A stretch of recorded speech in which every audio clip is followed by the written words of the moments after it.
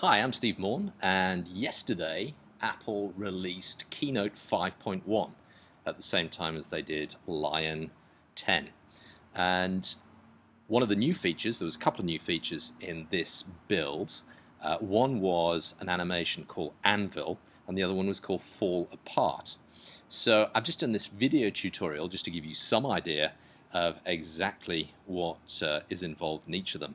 So here's a, a very standard uh, template that I'm sure you've all seen before. I'm going to click on the motorbike and I've selected the anvil effect. It's actually a build in and I've given it a duration of three seconds. The fall apart is actually a text animation and it is a build out. So that is under build out, fall apart. I've given it a duration of 1.5. So let's just run this and see what it looks like.